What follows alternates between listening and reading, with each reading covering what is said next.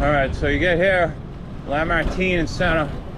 You see Jackson Square right up on the left, and then the path is crossing right in front of us. It's just on the other side of the road.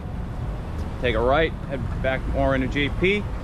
Left, you're gonna head up towards Roxbury Cross